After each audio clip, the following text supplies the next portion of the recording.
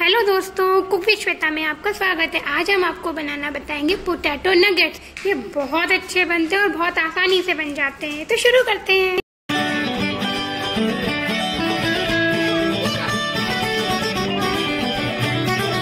इसे बनाने के लिए मैंने यहाँ पर लिए हुए, उबले हुए आलू, इन्हें मैंने ग्रेट कर लिया है, ब्रेड क्रम्स लिया है, धनिया पत्ती, लाल मिर्च पाउडर, कॉर्नफ्लोर, काली मिर्च पाउडर, चाट मसाला ऑर्गेनो, नमक, पनीर, जिसे मैंने ग्रेट कर लिया है, और जिंजर गार्लिक पेस्ट। तो शुरू करते हैं। मैं इनमें पनीर डाल देती हूँ।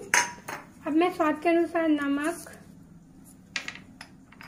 ऑर्गेनो, चाट मसाला, काली मिर्च पाउडर, मिर्च। अपने स्वाद के अनुसार आप लोग डाल दीजिए। और धनिया पत्ती। और जिंजर गार्लिक पेस्ट इन सबको डाल के अच्छे से मिक्स कर देंगे।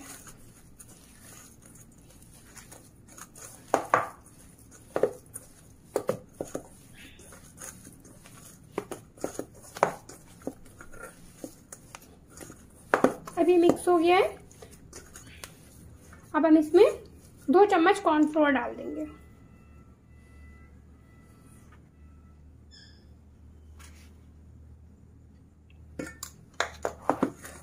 और इसका एक डो बना लेंगे।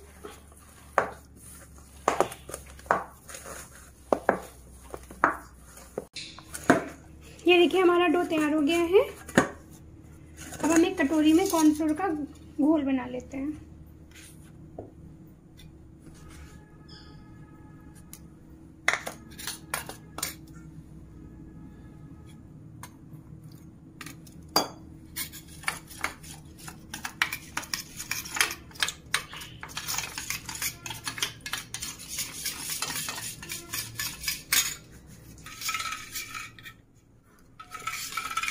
ये कॉर्नफ्लोर का घोल बन गया है। अब इसमें हम नमक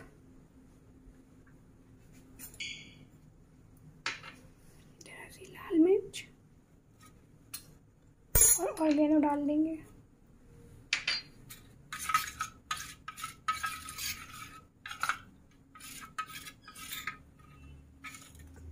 हम अपने डो के पतले पतले बॉल बनाएँगे। हम अपने डो के बॉल बना लेंगे। और उसे थोड़ा सा लंबा करके बनाएँगे। इस तरह से।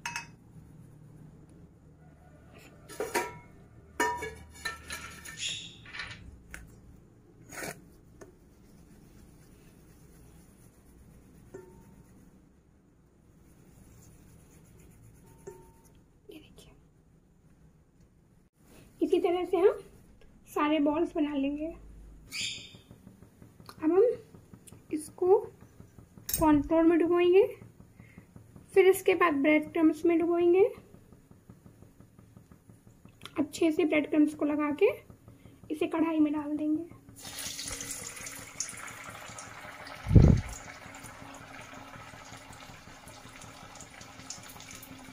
हर किसी के साथ यही प्रोसेस करते जाएँगे। ये देखिए, अच्छे से सीख गए हैं। इन्हें हम निकाल देते हैं।